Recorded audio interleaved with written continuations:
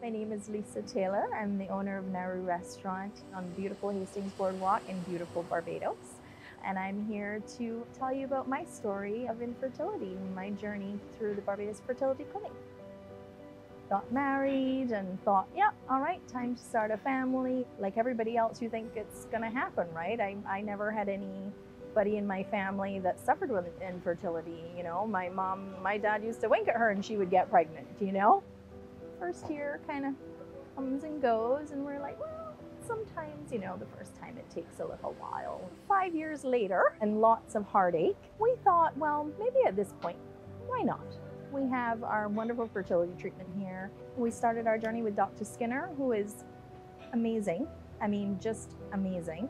She walked us through every bit of information that we could possibly need, want, ask. I mean, honestly, we opened the doors, and from there, it was the beginning of a wonderful experience for us.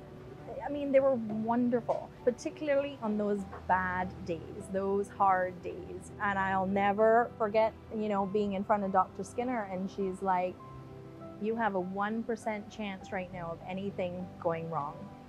So, what I want you to do is, I want you to relax and I want you to go and enjoy the rest of your pregnancy. It was beautiful. I mean, what, what else could you want as an end result after all of that? Only boy in our family. you know, he was definitely our little miracle. It was wonderful. It was a wonderful, wonderful journey.